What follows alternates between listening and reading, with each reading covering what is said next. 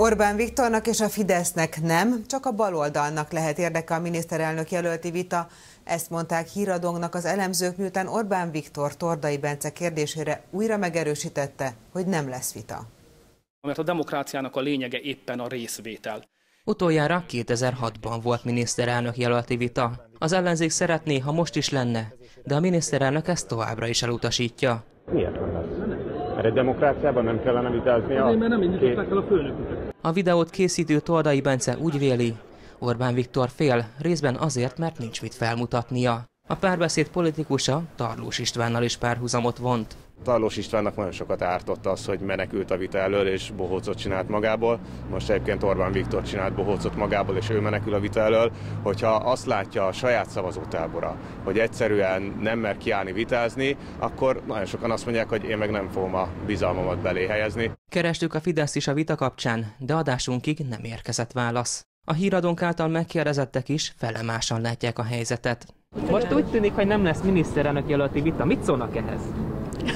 Hát sajnáljuk. Sajnáljuk. Megnézne egyet? Meg. Hát nekem nem hiányzik a vita.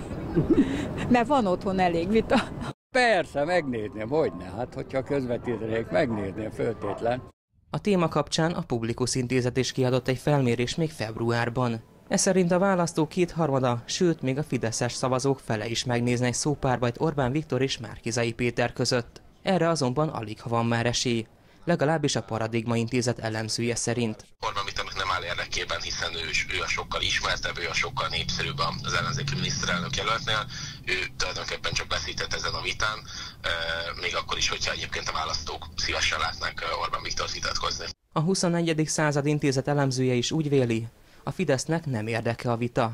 Az csak a baloldalt emelné fel. Deák Dániel szerint a kormánypárti szavazókban sincs igény erre. Azért a fideszes szavazóknak egy jelentős részében még benne van a 2006-os miniszterelnök jelölti vita, amelyet követően maga Gyurcsány Ferenc ismerte el, hogy végig hazudta nem csak a vitát, hanem egyébként az egész választási kampányt. Értelemszerűen a fideszes szavazóknak ilyen vitára nincsen igénye, nincsen szüksége. A szavazók bő három hét múlva dönthetnek, hogy Orbán Viktornak vagy Márkizai Péternek szavaznak bizalmat a választáson.